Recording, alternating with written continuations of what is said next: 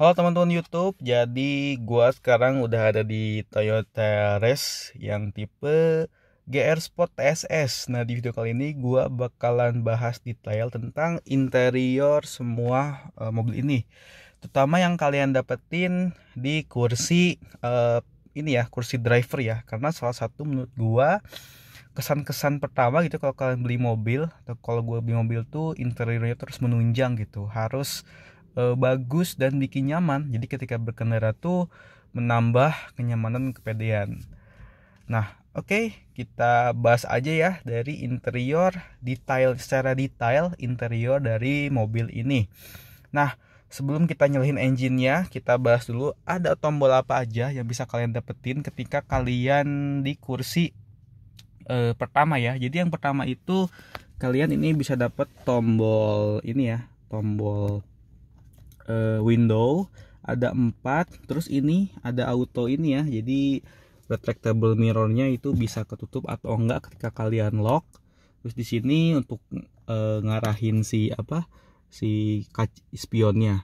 Terus ini yang kurangnya sih di sini nggak ada kunci do nggak ada kunci door lock ya jadi kuncinya tuh kalau kalian ngelocking terus dari sini gitu jadi nggak bisa dari sini. Ya kurang rada kurang praktis sih sebenarnya cuman ya itu fitur di Toyota Race. Terus kita lanjut lagi ke sebelah sini. Ini ada dua tombol. Yang ini pertama tuh dia uh, traction control system. Jadi ini benar-benar ngebantu kalian tuh buat uh, ngehindarin ban slip ketika licin atau lagi nanjak. Ya ini pernah aktif uh, kalau misalkan ketika lagi aktif uh, itu nanti di dashboardnya tuh keluar ada uh, TRC itu keluar. Itu ngebantu banget gue pernah nyobain ke jalanan licin ini berfungsi. Terus selanjutnya di sini kita bisa lihat ada yang gambarnya kayak ini ya gambarnya tuh kayak mobil mokres gini. Jadi ini ada dua fungsi. Yang pertama ada tombol LDW atau lane departure warning sama tombol anti crash ya. Jadi maksudnya anti crash ini ketika mobil ini misalkan kalian lagi macet macetan gitu ya terus di depan mobil kalian tuh ada ada mobil kalian lupa pindahin dari D ke N ya. Jadi kalian lupa nginjek rem lah. Ketika mobilnya tuh udah deket itu dia benar-benar otomatis ngerem sendiri kayak ngelok gitu. Itu yang si anti crashnya jadi kayak gitu.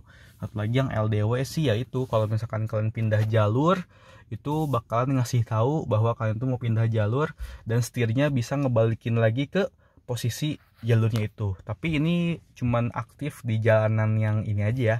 Jalanan yang ada garisnya sih marka. Kalau yang nggak ada sih dia nggak akan ngedeteksi sensornya kita pindah lagi ke bagian uh, setir ya. Di setir ini di setir ini kita bisa lihat di sini ada tombol cruise control. Ini mungkin yang cuma ada di TSS aja. Terus di sini ada mod. Modnya tuh dia buat nanti ke si layar monitor.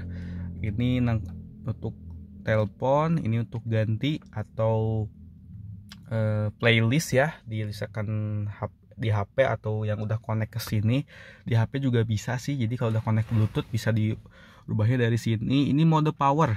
Nanti gue jelasin ketika dashboardnya nyala ini mode ekonomik sama power ya gitu. Untuk tarikan mesin sih katanya. Terus yang ini trip ini back. Backnya itu nanti di dashboard juga. Nah ini yang sebelah kiri ini tombol-tombol untuk mindahin kursor-kursor yang ada di dashboard terakhir ini untuk sound system ya. Ini sound system. Dan di sini bisa kita lihat sendiri ada paddle shift ya di sini. Ini paddle shift ini naikin itu turunin. Terus di sini tombol-tombol lampunya masih biasa ada auto juga yang bisa langsung nyala. Lanjut ke bagian tengah. Bagian tengah di sini ada startup engine yang di sini ya yang menurut gua harusnya mending di sebelah kanan sih. Di sini rada susah kalau dari luar nyalahinnya. Ini temperatur uh, ini untuk uh, nyalahin AC nya berapa kecepatannya.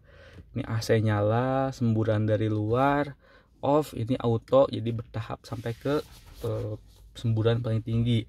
Minusnya sih di sini dia nggak ada arah semburan yang di atas kabin ya yang buat anti fogging gitu yang uap sama yang nggak ada yang di kaki. Jadi dia cuman semburannya di sini aja lalu kita bisa dapetin lagi di sini ada hmm, persneling ya. Persneling ini cupe R N D. Ini ada tipe S atau manualnya.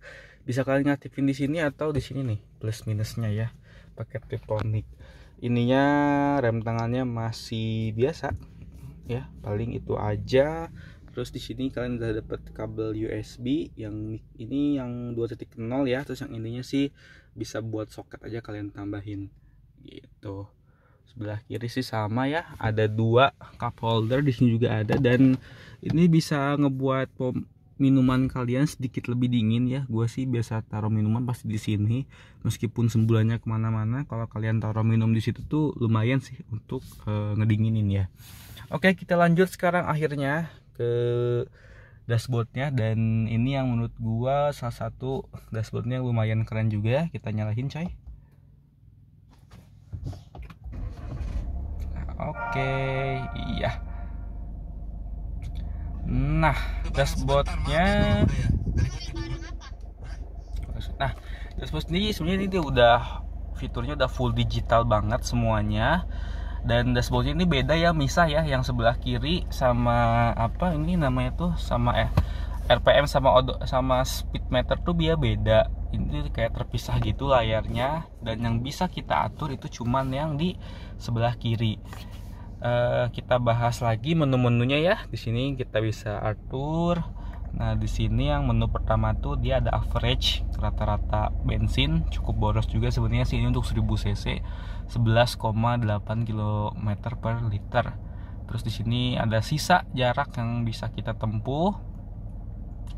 Terus di sini tuh nah, ini tuh fitur yang eh, ada nanti kalau misalkan cruise controlnya nyala. Jadi dia tuh ngasih tanda ya, tapi ini nggak bisa. Nah, ini nih gue nyalain nih pencet ke sebelah kanan nih ACC adaptive cruise control nah itu dia ada tiga step ya. Bisa kalian lihat tiga step itu jadi jarak yang kita inginkan sama mobil depan. Makin bisa kita atur juga dari sini ya. Makin pendek itu makin uh, pendek juga jarak sama mobil depan. Biasanya sih kalau gue satu aja ya. Kalau tiga tuh kayak orang Indonesia tuh terlalu kejauhan. Mungkin hampir 30-40 meter gitu. Kalau satu tuh ini cuma 15 sampai 20 meter. Nah untuk kilometernya itu nanti itu KM ketika kita nyalahin si cruise controlnya itu bakalan aktif di kecepatan berapa konstannya. Kita geser lagi ini jam ya jam sama mungkin informasi lain. Ini pesan sih kalau misalkan ada ganti oli lain-lain mungkin keluar mirip-mirip sama kayak Fortuner ya ini. Nah ini, ini ada kecerahan layar, pengaturan waktu, tanggal, pengaturan layar, alarm, hari, pengaturan kendaraan, perawatan juga, perawatan oli, default dan bahasa. Nah, sebenarnya si desain ini itu bisa kita rubah. Jadi desainnya itu ada empat ya. Nah, ada empat satu, dua, tiga, empat. Ini keren banget sih. Bagi kalau misalkan mudah-mudahan sih ternyata e, bikin aplikasi yang connect ke HP bisa ngedownload si displaynya sih itu lebih keren lagi gitu karena biar nggak bosan aja kan ngeliat kayak gini jadi empat display ini dia berbeda e, modelnya dan juga ada animasi masuk dan keluar. Jadi ketika kita nyalain atau matiin mesin tuh dia beda ya. Nah ini yang pertama. Ya, yang pertama kan nah coba kita matiin itu beda nih. Nah animasinya kayak gitu. Kita coba satu-satu aja. Nah kita coba nyalain lagi ya. Nah ini untuk openingnya kayak gini. Nah kita lanjut ke desain yang kedua. Nah ini ya. Nah ini lebih ala sport gitu ya. nah, kita matiin. Terus kita nyalain lagi. Coba kita lihat. Nah okay. nah terus kita uh, next yang ini ya yang display tiga teknis yang benar-benar minimalis banget ya si desainnya. Kalau kalian yang suka minimalis boleh pilih ini. Tuh dia juga animasinya juga minimalis tuh ya cuman garis gitu aja. Coba kita nyalain lagi. Simple banget sih yang desain ketiga. Terus yang desain keempat. Nah display keempat ini yang benar-benar kayak mobil metrik biasa ya gitu. Kayak klasik gitu ya. Ini juga untuk ininya sih biasa tuh cuman hilang aja. Oke, jadi itu ada empat desain yang nah itu tuh banyak banget ya. kan nanti mungkin kalau bisa dijeda nanti gue bahas satu-satu juga sih. Tapi gue lebih suka desainnya yang pertama karena uh, lebih baru aja sih dan mungkin beda sama mobil-mobil lain ya gitu. Oke.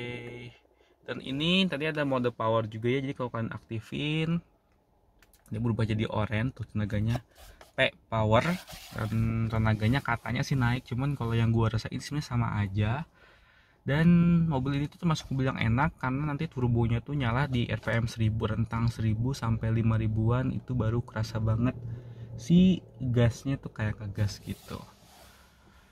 Oke, sisanya kita bisa lihat ada suhu di luar, ada odometer ya, dan ini kilometernya, dan ini nggak bisa diatur sama sekali karena dia misah gitu sih sama kiri dan kanan. Ini pengatur bensin sebelah kiri. Oke. Oke guys kita ke dashboard dulu ya. Kita bahas dashboardnya. Oke paling gitu aja guys untuk uh, review dashboard sama interior ini. Dan terus paling di depan sini tuh ada kayak ini ya uh, apa seat beltnya udah dipasang atau enggak ini lampunya kayak gini. Terus ini kalau nyala atau ini dan ini kaca tapi belum bisa di ada belum ada lampunya. Nah mesin juga belum ada lampunya ya guys ya. Oke okay, guys. Terus terakhir ini dia si head unitnya ya. Head unitnya sih sebenarnya masih standar banget. Dia cuma ada radio radio USB uh, tailingnya kayak gini-gini dan nggak terlalu lengkap juga nggak bisa mirroring juga. Tapi cukup ada Bluetooth sih mood gue udah lumayan banget karena kalau Bluetooth ini dia udah langsung connect sendiri otomatis dan lagunya pun bisa otomatis sendiri gitu. Itu sih keunggulannya. Oke okay, guys ini ada hazard ya. Dan oke okay, paling gitu aja nih. Dari interior si Toyota Race ini. Lihat nah ini secara keseluruhannya ya gimana nih menurut kalian guys? Apakah kalian mau beli mobil ini kenyamanan yang diberikan oleh mobil ini? Oke, jangan lupa like comment dan subscribe. Nah oke. Okay. ini gue kasih tahu lagi ya ada apa aja. Mudah sih bisa gue jeda